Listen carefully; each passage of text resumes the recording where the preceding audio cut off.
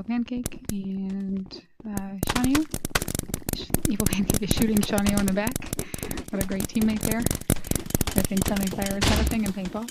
Uh, it is 17 to 16, 17 to 17. It's a really close matchup here.